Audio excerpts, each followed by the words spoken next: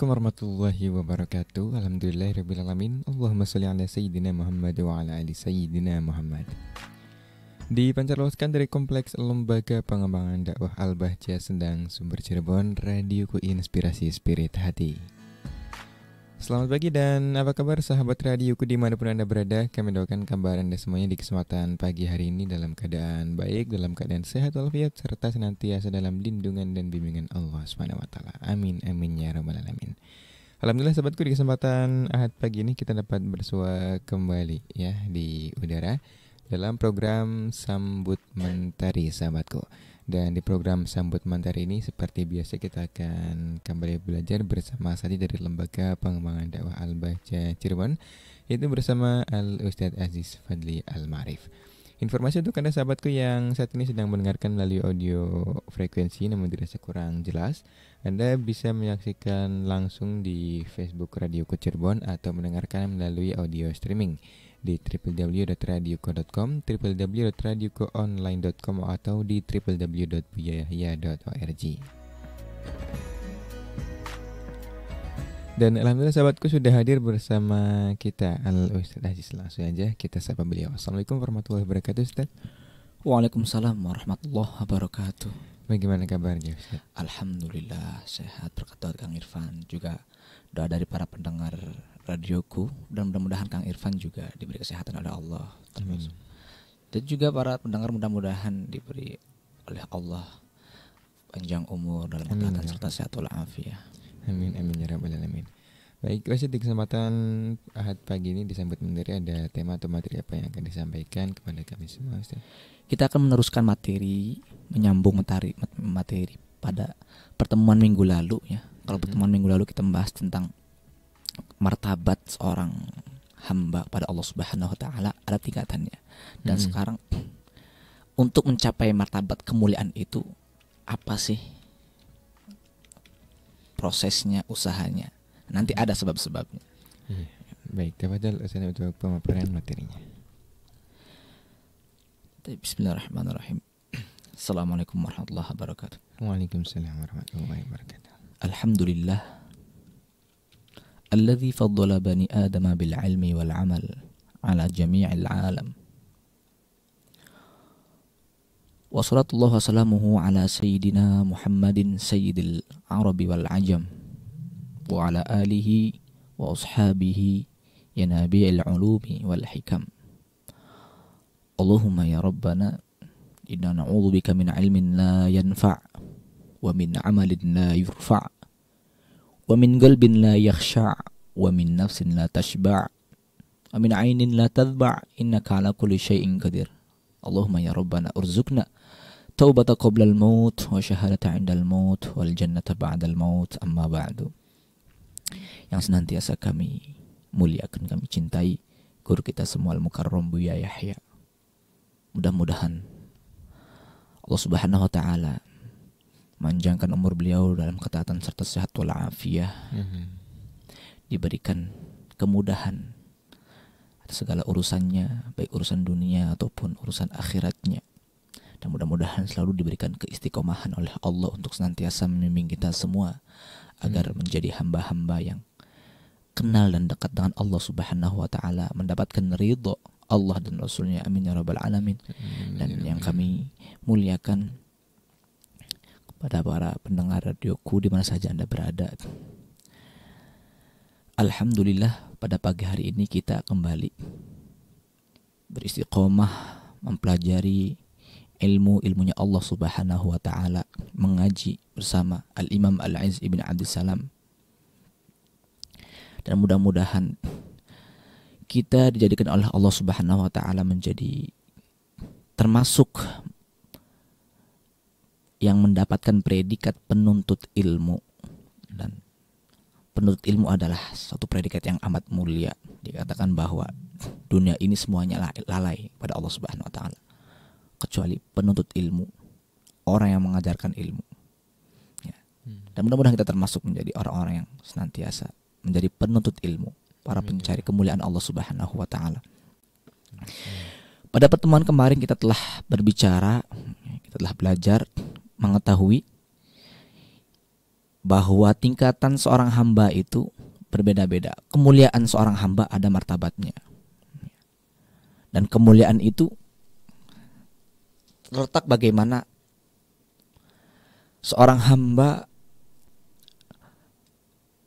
mendekatkan diri kepada Allah Subhanahu wa taala tentu kadarnya adalah seberapa besar pengetahuan seorang hamba dengan hak-hak Allah Subhanahu wa taala. Karena dengan mengetahui hak-haknya maka seorang hamba akan tahu keagungan Allah Subhanahu wa taala, kesempurnaan Allah Subhanahu wa taala. Itu semua yang akan menjadikan sebab seorang hamba totalitas mengabdi pada Allah Subhanahu wa taala, termasuk pengetahuan dia dengan apa-apa yang dicintai oleh Allah, yang dibenci oleh Allah Subhanahu wa taala. Dan pada pagi hari ini kita akan melanjutkan pertemuan kemarin ya. Apa saja sih yang menjadi sebab kita mendapatkan kemuliaan tersebut atau sebab-sebab untuk mendapatkan kemuliaan, keutamaan. Ya. Dikatakan oleh beliau, bismillahirrahmanirrahim. Qala mu'allif rahimahullah ta'ala bihi wa amin. Ila an faslun fi asbabil. Pasal ini menjelaskan tentang sebab-sebab mendapatkan kemuliaan. Fadail, fadilah, jamak fadilah. Lil fadaili asbab, ya, sebab-sebab untuk mendapatkan kemuliaan itu. Kasbiyatun, ada kalanya kasbiyah.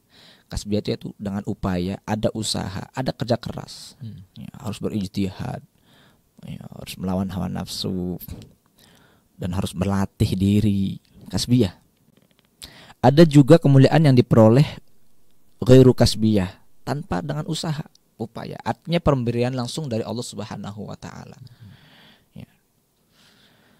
Faghairul kasbiyati sittatun nah kemuliaan yang datangnya dari Allah Subhanahu wa taala langsung ya memang ya yang kasbiyah pun yang e, keutamaan kemuliaan dengan usaha pun hakikatnya datangnya dari Allah Subhanahu wa taala tapi dengan usaha ya.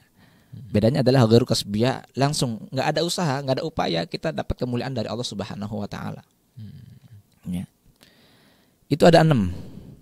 Ada enam yang beliau simpulkan ya. Ada enam. Ahaduha salah satunya adalah al-uqul yaitu akal Akal adalah karunia terbesar, anugerah dari Allah Subhanahu wa taala yang amat terbesar. Akal yang menjadikan manusia mulia, bahkan yang membedakan antara manusia dan binatang adalah akalnya. Kan gitu. Ini ja'inu fil ardi khalifah. Kenapa? Allah katakan kepada uh, kita bahwa kita adalah pemimpin di muka bumi ini adalah karena dikarunia akal karena manusia dikaruniai akal sehingga dia bisa membedakan antara yang baik dan buruk mana yang maslahat dan tidak maslahat bagaimana cara mengurusi ya, orang mengurusi semuanya hmm. itu kan akal yang berperan ya dan banyak sekali kemuliaan-kemuliaan termasuk uh, dalam hadis dikatakan hadis ya, dikatakan bahwa ketika Allah menciptakan akal Allah katakan ke akal, wahai akal, majulah. Maka dia nurut yang diperintahkan oleh Allah, maju. Ketika disuruh untuk mundur, mundur. Berbeda dengan al-jahlu ya, yang telah kita sampaikan. Ketika disuruh maju malah mundur, ketika disuruh mundur malah maju. Berbeda dengan akal. Ya. Sehingga Allah katakan saat itu, tidaklah aku menciptakan makhluk yang mulia kecuali aku ciptakan akal. Ya, ini pujian dari Allah Taala bagaimana kemuliaan akal. Ya. Dan akal merupakan karunia yang agung yang diberikan oleh Allah Subhanahu Wa Taala kepada manusia. Sehingga dalam syariat pun kita wajib untuk menjaga akal, iya kan? Yang merusak akalnya wajib dicambuk itu. Orang minum khamr kan wajib dicambuk, ya kan? termasuk taklif beban syariat pun kan nggak diwajibkan kecuali bagi mereka yang sudah akil sudah berakal ya kan hmm. iya jadi perhat, uh, syariat juga banyak memperhatikan urusan akal ya. termasuk eh, wajib untuk menjaga akal. Kan ada istilah hifdzul arad ya, menjaga kemuliaan kehormatan, hifdzul mal menjaga harta. Ya, termasuk hifdzul akal menjaga akal. Ini kan pokok-pokok dari ajaran agama Islam. Ya. Kata beliau yang pertama adalah akal. Ini karena terbesar yang diberikan oleh Allah untuk umat manusia. Ya. Dan akal diberikan oleh Allah secara cuma-cuma. Setiap orang mempunyai akal. Wasawabu al mudhaf ilaiha muratabun ala atharihi. Nah balasannya sawab ya, yang akan diperoleh itu tergantung dari efek pengaruh yang di uh, dilakukan oleh akal ya. kalau seandainya di, di pengaruhnya adalah hal-hal positif maka akan dibalas dengan hal-hal yang positif baik kalau pengaruhnya adalah hal-hal negatif maka akan dibalas dengan hal-hal yang negatif juga kan gitu hmm. bagaimana ya, tergantung bagaimana kita mempergunakan akal ini kita gunakan akal untuk apa jika kita gunakan untuk hal-hal yang baik hal-hal yang positif maka juga akan memperoleh hal-hal yang positif. Jika yang digunakan adalah untuk hal-hal yang negatif juga sama. Ya.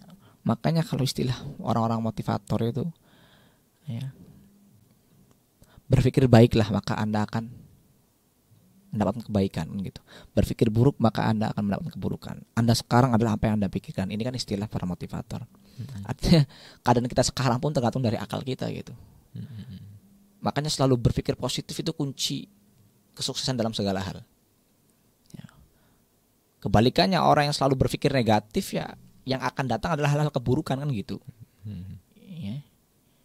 Dalam hal syariat agama juga sama. Kita dilatih untuk husnudon. Husnudon itu artinya kita selalu berpikir positif tentang orang itu.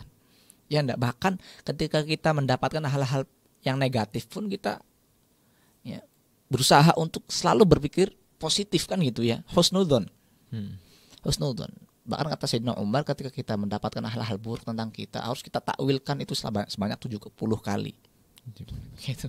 Kalau seandainya ada orang ngomong ini ini tentang keburukan kita. Ya, atau kita mendapatkan informasi-informasi yang nggak benar hal-hal negatif. Itu kita takwilkan. Ya. Ya paling itu oh cuma itu mah ya biasa gitu jadi jangan sampai akal kita tuh tercemari dengan hal-hal negatif Buya sering menyebutkan ya, jauhkan akal kita dari radar-radar negatif kan gitu ya. Hmm. Itu yang akan menghancurkan. Dalam organisasi pun sama. Ketika tidak ada saling percaya husnudon antara anggotanya akan rancau. Kan gitu. Penting sekali. Ya ini akal. akal. Ada istilah lagi ilmu telekinesis ya kalau nggak salah ilmu telekinesis. Bagaimana orang dapat menggunakan akalnya. Bahkan sampai uh, katanya itu orang bisa mempengaruhi orang lain. Kan ada hipnotis itu ya. Hmm. bahkan di telekinesis itu bisa katanya orang uh, membunuh membunuh tanpa harus dengan cara fisik. Hanya dengan akal saja. Akal saja itu. Ya ilmu telekinesis. Allah alam apa itu benar apa tidak. Tapi ini kemampuan akal. Kemampuan akal. Dengan akal banyak sekali ya hal-hal baru yang diciptakan ya. ini yang berperan siapa akal Sungguh arung anugerah besar. Tapi yang kita harapkan adalah bagaimana cara agar kita bisa menggunakan akal ini dengan untuk uh, mendekatkan diri kepada Allah Subhanahu wa taala. Kita gunakan akal kita untuk bertadabur, merenungi ciptaan-ciptaan Allah. Untuk menyadari tentang uh, betapa pentingnya kita untuk mencari modal di akhirat. Hal-hal duniawi juga perlu. Ya, secukupnya untuk bisa uh, apa untuk bisa menjalani hidup kita di dunia ini. Nah, lebih dari itu kita ada yang lebih penting lagi adalah urusan akhirat. Ya, akal lah yang akan menuntun kita, hmm. menuntun kita. Ya, membedakan antara hak dan batil, maslahat yang tidak maslahat atau yang lebih maslahat. Ya, itu kan yang akan menimbang memilih adalah akal. Itu kata beliau.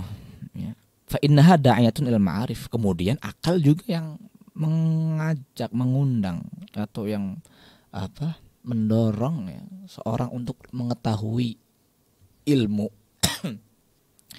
ya wal qurbat wa uluwid darajat dan dengan akal juga seorang dapat mendapatkan diri takarrub pada Allah Subhanahu wa taala mendapatkan kemuliaan derajat di sisi Allah Subhanahu wa taala. Memang akal itu bukan goyah ya.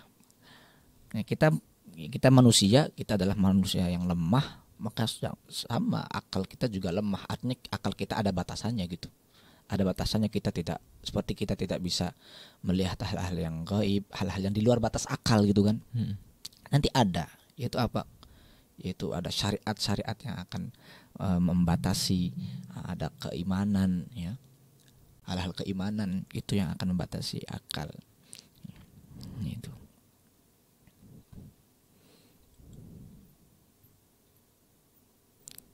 Ini yang pertama kata beliau, al-aql.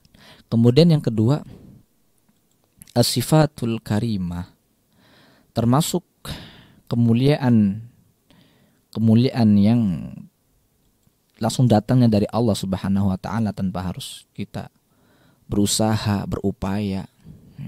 Kerja keras adalah sifatul karimah al-ghariziyah yaitu sifat sifat mulia bawaan ghariziyah itu ya bawaan sejak lahir sudah ada. Nah, ini juga anugerah dari Allah Subhanahu wa taala. Maka kita lihat ada beberapa orang itu ya dia punya sifat bawaan seperti malu, pemberani gitu kan ya. Al-ghirat, al-ghirati wal hilmi ya. Kalgira seperti cemburu. cemburu maksudnya cemburu di sini adalah cemburu ketika kita ada melihat orang yang melakukan hal-hal yang buruk atau hal-hal yang diharamkan oleh Allah SWT kita harus cemburu dong. Ya. Harus ada rasa cemburu dan ada rasa apa? Ingin menegur gitu kan mengingatkan. Hmm. itu. Begitu juga seorang ayah pada anaknya. Lihat anaknya melakukan kesalahan. Harus ada giro dong. Cemburu. Nggak rela kalau anak kita melakukan kesalahan gitu. Hmm. ya. Guru dengan santrinya. Ya, giro Allah juga sama. Ya. Ada dalam hadis ya. Bahwasanya Allah juga punya sifat cemburu. Maksud cemburu Allah adalah yaitu ketika ada seorang hambanya yang uh, melanggar perintah melakukan hal-hal keharaman Allah juga cemburu. Itu ghirah ada. Ada. Wal hilm hilm bijaksana. Ar-ra'fah. Yani lemah lembut. Wasakho dermawan syaja'ah berani. Wal haya malu. Ini beberapa sifatnya bawaan. Yang Allah karuniakan kepada hamba-hambanya. Wasawabu murattabun ala athariha. Dan balasannya adalah sama bergantung dengan efek yang dihasilkan oleh sifat-sifat tersebut. Wa atharul ghirati ya. Atharul ghirah ya, efek pengaruh yang akan ditimbulkan dari sifat ghirah cemburu ini. Ini beliau hanya menyebutkan beberapa saja. Artinya, ya, artinya sangat banyak yang tidak disebutkan dalam kitab ini. Hanya sebagai contoh kecil saja. Wa atharul ghirati daf'ul fawahish wa asbabiha anil haram.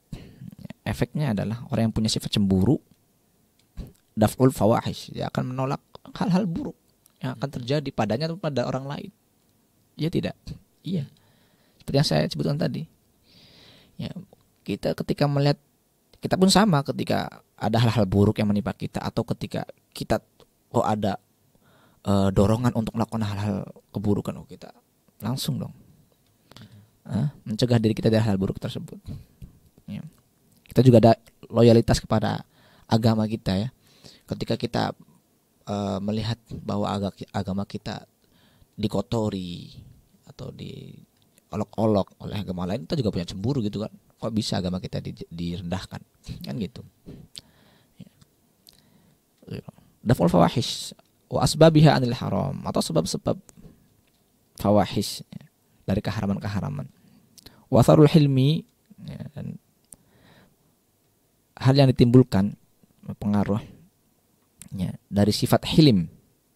Hilim itu bisa jadi bijaksana, bersabar. Takhiru muakhadatil musi ila an yabruda ghalilul madlumi fayashul alaihi al-afu anil isaah. Ya, yaitu dia tidak akan semena-mena ya, ceroboh ketika ada orang yang berbuat buruk kepadanya. Tidak akan bodoh, tidak akan ceroboh. Ya, dia akan bersabar akan bersabar. Faisul alaihi afu maka orang-orang yang punya sifat hilim ini dia akan mudah memaafkan orang. Ya kan? Ketika ada yang berbuat salah padanya pun dia akan. Ya memang ada emosi ada manusiawi. Tapi dengan uh, berkat sifat hilim ini bersabar maka dia akan bisa mengendalikan emosinya. Bahkan mungkin dia akan menganggap itu adalah uh, apa namanya hal-hal yang biasa itu ya. Kemudian dia juga akan uh, apa namanya mengendalikan situasi. Hmm. sehingga dia tidak langsung begitu saja memarahi orang yang ber berbuat salah kepada beliau. Atau bahkan dibalas dengan hal-hal kejahatan yang serupa. Tidak. Justru dia akan bersabar. Dia tidak cemburu tidak terburu-buru tidak ceroboh. Nah orang-orang seperti ini akan dimudahkan oleh Allah untuk selalu memaafkan bagi orang yang berbuat buruk padanya. Itu wa atharu ra'fatil ihsanul kamil wal in'amu syamil. Dan pengaruh efek yang dihasilkan bagi mereka yang mempunyai sifat bawaan ra'fah lemah lembut al ihsan al kamil. Dia akan totalitas berbuat baik pada orang wal in'amu syamil. Atau ketika dia dermawan pada orang pun ya, sama nggak perhitungan gitu. Ini beberapa sifat nanti akan kita akan kita jelaskan lagi beberapa sifat yang beliau hadirkan setelah berikut ini. Iya baik sebenarnya terima kasih Ustaz atas pemaparan materi yang di sesi pertama kali ini. Dan sahabatku kita akan jeda terlebih dahulu. Kemudian kita akan kembali melanjutkan pembelajaran kita bersama Ustadz Aziz ya. Pastikan anda tetap di radioku Inspirasi Spirit Hati.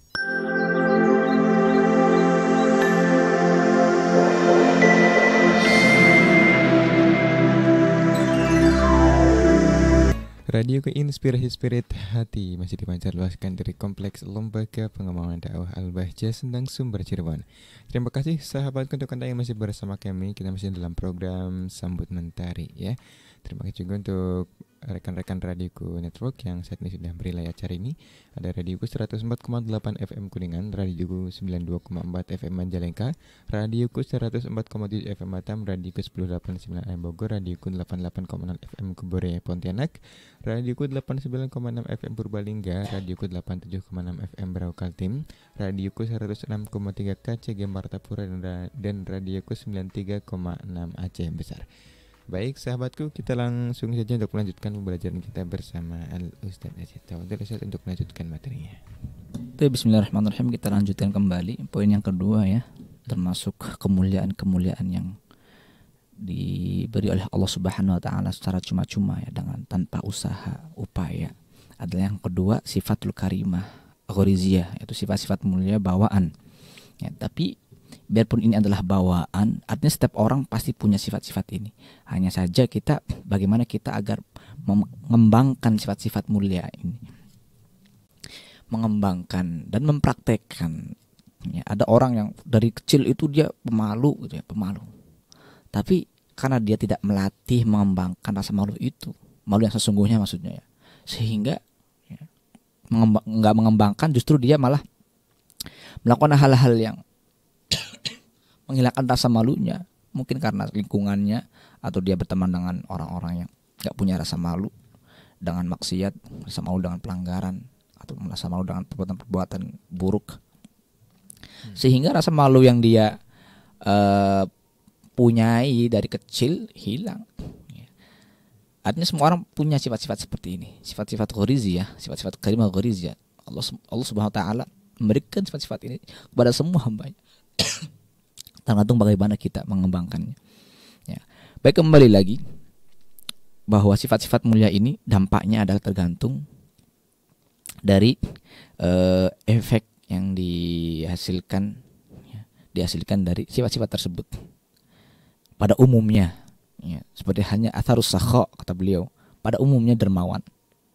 Atharus sakho badul amwali wal manafi' fi jami' anwa'il kurubat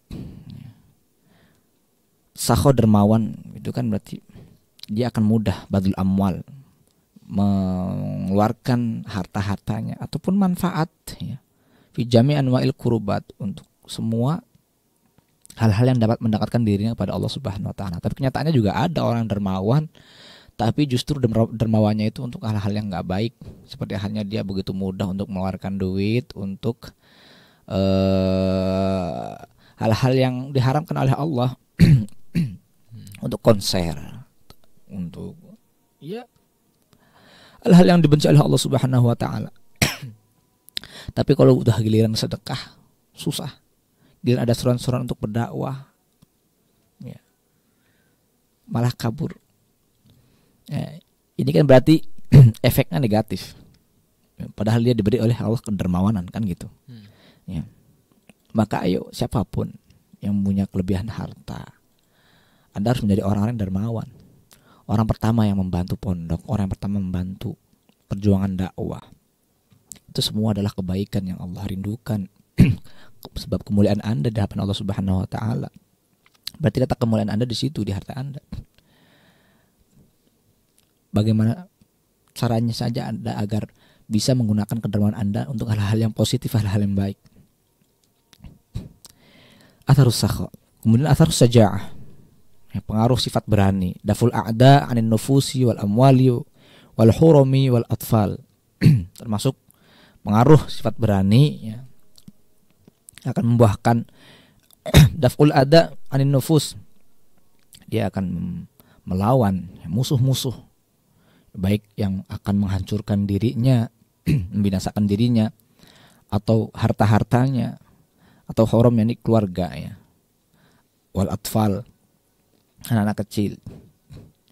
Artinya berani ini juga sifat mulia. Kadang ada orang yang nggak berani untuk menyampaikan kebenaran, padahal dia melihat dengan kedua matanya kemungkaran akan tapi itu dia nggak melatih keberanian dirinya untuk me, apa namanya untuk amar ma'ruf nahi mungkar hmm. untuk uh, apa namanya melawan kejahatan-kejahatan.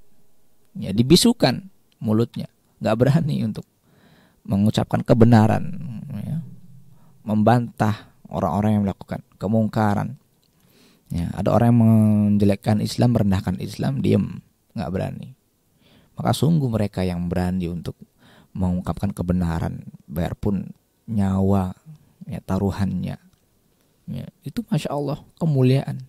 Harusnya kita mendukung orang-orang seperti itu bukan malah justru kita menjatuhkan. Sama saja itu adalah maksiyah atau dim saja kalau ada orang yang merendahkan Islam. Ya ridho bil maksiyah maksiyah orang yang ridho atau diem ketika ada orang yang bermaksiat juga termasuk maksiat. Berdosa. Pemberani. Ya pemberani. Kita ketika ada teman kita yang melakukan kesalahannya kita tegur. Jangan gak enak gak enak kok nggak enak? Ada orang melakukan kesalahan. Ada orang masuk neraka aja nggak enak. Kan gitu. Harus dong. Tentu ada uslub. Ya ada cara. Cara yang pas bagaimana kita mengingatkan orang. Ada memang. Akan tapi ada orang itu yang dia orangnya nggak enak gak enakan. Gak enakan itu sama Allah jangan sama makhluk. Ya. Harusnya ketika kita ada orang yang melakukan pelanggaran itu kita harus gak enak dong dengan Allah Artinya kita ketika uh, terenyuh ada orang melakukan kemaksiatan juga saat itu kita sedang beradab dengan Allah Subhanahu wa taala, peduli dengan kemaslahatan dia. Kan gitu. Ya. Dan ini bisa dilatih keberanian itu. Bisa dilatih. Kalau orang tahu, ya, kalau orang dalam hatinya ada niatan untuk uh, memberikan manfaat untuk orang, ya, tentu dia akan peduli dengan apa yang dilakukan oleh orang lain. Ya. Akan berani ketika ada orang lain, temannya, ya, ataupun anaknya, keluarganya melakukan hal-hal yang melanggar syariat. Itu asar asyaja'ah. Kemudian asarul haya, al-kaf an ya. Pengaruh sifat malu itu adalah yaitu akan menahan seorang itu dari melakukan perbuatan-perbuatan buruk. Al haya malu. Malu yang sesungguhnya. Ya, malu yang sesungguhnya kata Allah katanya dalam hadis itu kan. Malu yang sungguhnya berarti kita menjaga hal-hal yang diharamkan. Menjaga perut kita dari hal-hal yang haram makanan haram. Menjaga tangan kita dari mengambil yang haram. Menjaga mulut kita dari mengucapkan yang haram. Ya, malu. Malu pada Allah Subhanahu wa taala. Ya bukan malu kita dengan manusia ya, pakai pakaian yang uh, jelek ya nggak bermerek malu. Ini bukan malu yang sesungguhnya. Ya. Dan malu pasti ya, orang punya sifat malu pasti akan mendatangkan kebaikan. Ketika melakukan hal-hal yang nggak pantas pun ya kalau ada orang orang ada rasa malu dia akan berpikir lagi dong. Melakukan itu di depan manusia gitu kan. Ya. Layat li khair. Ya, malu itu ya tidak datang kecuali untuk hal-hal yang baik. Itu yang kedua ya kesimpulannya yang kedua sifat yang kedua ini adalah sifat-sifat mulia bawaan artinya setiap orang pasti punya dan setiap orang pasti ada dalam dirinya sifat-sifat seperti ini. Ya, hanya bagaimana saja kita e, berusaha untuk mengembangkannya, ya, mengembangkannya, mempraktekannya. Kemudian yang ketiga al-ma'ariful ilhamiyah. Ya, ini kita bicara dengan ilham ya. Ilham itu adalah bisikan, bisa kita katakan bisikan atau penjelasan Allah yang Allah sampaikan langsung melalui hati kita. Ya.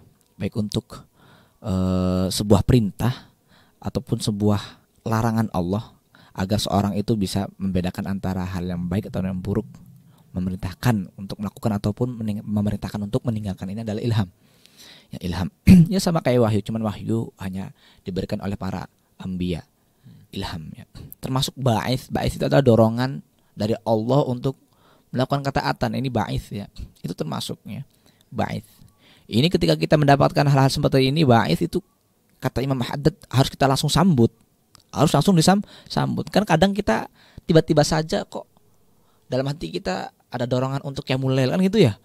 Itu harus kita sambut itu. Ya. Jangan sampai kita anggap biasa-biasa saja, bahaya musibah. Belum tentu akan datang kedua kalinya. Ya. Ada dorongan kita untuk bersedekah langsung. Ya makanya diceritakan sama sering diceritakan oleh oleh Buya ya ada seorang ya, ulama besar orang soleh gitu kan orang soleh nggak mungkin dia kalau berbicara, berbicara di hamam makruh ya tiba-tiba saja ketika beliau ke hamam kamar mandi ya tiba-tiba saja beliau mengambil uh, memanggil anaknya wahai anakku tolong ambilkan uang. Heran anaknya kan kok tiba-tiba saja bapaknya yang nggak mungkin lah ngomong di hamam itu kan ngomong di hamam ternyata apa? Ternyata beliau memanggil anaknya untuk mengambilkan uang itu karena terbesit dalam hatinya apa? Pengen bersedekah. Pengen bersedekah. Ya artinya ketika ada bait bait dorongan dorongan dari Allah untuk melakukan hal-hal baik ketaatan ini harus kita langsung sambut. Ya, jangan tunda-tunda terlebih terlebih urusan amal baik itu kan kita tunda-tunda badiru bil amal kata Nabi ya harus segera dilakukan. Kita kan nggak tahu satu menit ke depan apa kita masih hidup apa enggak kan gitu. Hmm. Makanya ada kisah ya, kisah ya diceritakan bahwa setan itu punya perkumpulan juga. Setan punya perkumpulan. Ya, punya musyawarah lah gitu kan, musyawarah. Perkembangan prajurit-prajuritnya seperti apa dalam menyesatkan manusia. Ya, musyawarah. Ditanya ya, setiap oh, setiap pasukannya ditanya, ente sudah ngelakuin apa untuk umat manusia? Saya sudah menjebloskan manusia untuk berzina. Ente, saya sudah menjebloskan manusia untuk minum khamr. Ente, saya menjebloskan manusia untuk uh, memutus silaturahmi. Nah ini panglima setannya biasa-biasa saja. Itu toh. Terus ada satu lagi setan yang angkat tangan. Saya, ente apa? saya sudah bisa menanamkan sifat ba'din di dalam hati manusia. Ba'din artinya entar. Ya. Nanti dulu. Nah terus apa efeknya untuk manusia? Apa kejahatannya? Loh, dengan kata ba'din eh, dengan uh, menunda-nunda kan ada orang melakukan kemaksiatan pengen tobat nanti akhirnya mati duluan mati sul khotimah ada orang pengen sedekah, pengen berhaji, sudah berhaji sudah dia sudah termasuk orang yang wajib berhaji. Tapi tunda-tunda nanti aja lah duitnya buat bikin toko, buka toko. sebelum berhaji sudah mati duluan. Artinya dia berbuat dosa dong, dia wajib berhaji tapi tidak berhaji. Berapa kejahatan coba? Ya kan? Itu. Ah, saya suka ente. ya. Artinya jangan tunda-tunda untuk melakukan kebaikan itu. Ya. Kebaik, kebaikan itu sangat banyak banget. Ada di mana-mana, termasuk perjuangan dakwah. Ya. Nggak sulit nggak bingung ah, nggak bingung kita mengeluarkan harta kita untuk apa sekarang sudah banyak perjuangan-perjuangan dakwah ayo kita bantu ya dan dakwah juga bukan hanya dengan harta ya artinya ayo kita sebanyak bisa bisa bisa mungkin untuk melakukan hal eh, kebaikan-kebaikan dan orang yang cerdas adalah dia yang apa istilahnya melakukannya nggak capek tapi dapatnya banyak. Nah, ini dalam hal ekonomi pun ya kita mengeluarkan sedikit-sedikitnya tapi untuk mendapatkan hasil sebanyak-banyaknya gitu ya. Sama dalam hal beramal juga kita ini usia cuma berapa tahun sih diberi oleh Allah umat Nabi Muhammad nggak panjang usianya. Harus kita manfaatkan dong, harus cerdas-cerdasan dong. Artinya di sana ada amal yang kita nggak capek tapi pahalanya banyak. Yaitu apa? Amal-amal yang sifatnya mutaaddi. Ya. Manfaatnya itu bukan hanya untuk kita tapi untuk orang lain. Nah ini, ya kan? Termasuk di perjuangan dakwah gitu kan. Sodako jariah. Manfaatnya nggak cuma untuk kita tapi untuk orang lain juga. Ini pahalanya berlipat. Itu. Ya. Kemudian yang ketiga uh, ini yang ketiga ya. Robi al karomat ya, al karomat ini pembahasan karomat sangat panjang. Ini. Insya Allah di pertemuan selanjutnya. Pada intinya pertemuan pagi ini ya agar kita mengetahui bahwa di sana ada kemuliaan-kemuliaan yang Allah berikan tanpa harus kita minta. Ya, seperti akal. Kita dikaruniakan akal. Yang kedua sifat-sifat ya, karakter mulia bawaan yang Allah letakkan dalam diri kita. Atau yang ketiga adalah pengetahuan-pengetahuan yang Allah sampaikan kepada kita, bisikan-bisikan, dorongan-dorongan. Artinya itu semua adalah kemuliaan yang Allah berikan kepada kita secara cuma-cuma yang harus kita manfaatkan, harus kita sambut, harus kita gunakan untuk hal-hal yang baik, hal-hal yang positif, hal yang dapat mendatangkan manfaat untuk kita, baik itu untuk urusan dunia kita ataupun urusan akhirat kita. Ya. Dan dengan kita mempelajari ini, kita harus tahu bahwa hmm, kita sebagai seorang hamba Allah harus kita gunakan dong untuk kepentingan akhirat ya. Kepentingan akhirat. Banyak di sana yang punya akal yang uh, sempurna cerdas akan tetapi tidak digunakan untuk kepentingan akhiratnya. Hanya yang dipentingkan adalah urusan dunianya ya. Gemerlap dunia ya. memang kita juga perlu untuk menggunakan akal kita untuk kemaslahatan hidup kita di dunia. Tapi itu bukan prioritas. Prioritas kita adalah Allah Subhanahu wa taala. Ya, dan kita harus juga berusaha agar mengembangkan eh, sifat-sifat yang Allah tanamkan, letakkan dalam diri kita agar kita mampu untuk melakukan hal-hal kemuliaan, kebaikan. Ya, seperti sifat-sifat yang dijelaskan tadi, sifat pemberani, sifat uh, malu, sifat dermawan dan sifat-sifat lainnya. Itu adalah sifat-sifat yang dapat menghantarkan kita pada kemuliaan. Kalau kita guna kalau kita tahu kalau kita ingin ya kalau kita pengen eh, rindu pada kemuliaan tentu kita akan selalu berusaha untuk memanfaatkan sifat-sifat mulia ini. Ya. Kemudian juga kita harus uh, langsung menyambut ya dorongan dari Allah Subhanahu wa taala untuk melakukan ketaatan. Jangan ditunda jangan ditunda. Hari esok bukan ya, tidak pasti untuk kita. Ya, bahkan lima menit kemudian pun kita tidak tahu apa yang akan terjadi. Artinya ayo dari sekarang ya. Dari sekarang kita uh, berusaha untuk melakukan kebaikan-kebaikan yang bisa kita lakukan semampu kita. Bahkan dikatakan bahwa ada 3 M ya. Ada 3 M yang harus selalu kita pegang dalam beramal ya ibda min nafsik ibda min syek sogir ibda minal an mulai dari dirimu mulai dari sekarang dan mulai dari hal-hal yang kecil artinya jangan urusan kebaikan jangan nunggu orang orang lain mulai dari diri kita ya mulai dari diri kita Kemudian mulai dari sekarang nggak boleh ditunda. Dan mulai dari hal-hal yang kecil. Hal yang kecil yang bisa kita lakukan, ayo kita lakukan. Kebaikan-kebaikan sangat banyak di depan mata kita. Ya, pondok-pondok pesantren. Ya, semuanya ada pintu-pintu kebaikan yang bisa kita masuki. Mungkin itu kesimpulan pada pagi hari ini. Mudah-mudahan bermanfaat untuk kita semua, khususnya untuk al-fakir sendiri. Dan mudah-mudahan kita jadikan oleh Allah SWT menjadi ahli istiqomah. Menjadi penuntut ilmu yang sesungguhnya mendapatkan ridho Allah Subhanahu wa taala dan selalu dalam pandangan penjagaan Allah Subhanahu wa taala dan mudah-mudahan kita menjadi orang-orang yang diperhatikan oleh guru-guru kita. Mendapatkan keberkahannya kemuliaannya. Dan tujuan puncak kita adalah agar kita mendapatkan ridho Allah dan ridho Rasulnya. Al-Fatihah.